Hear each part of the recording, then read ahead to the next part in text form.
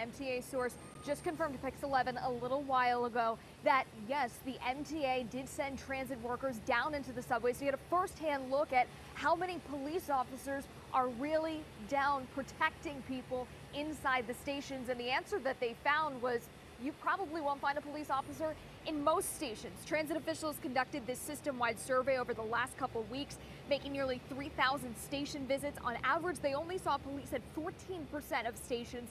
On the worst day, they saw a 1% police presence. On the best day, 31%. Later today, the NYPD Transit Bureau will present its latest crime stats to the MTA.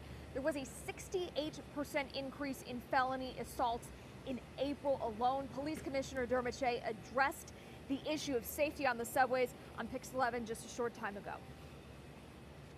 Well, I have no way to know, you know, how, how that study was done or if they're accurate, but um, I, I could tell you that NYPD cops across the city are out there every day, Dan, including in the transit system.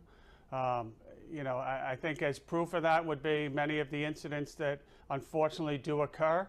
We have officers there right in the stations making apprehensions. So we're certainly not in every station at every time, uh, but believe me, they're out there and they're doing the best they can.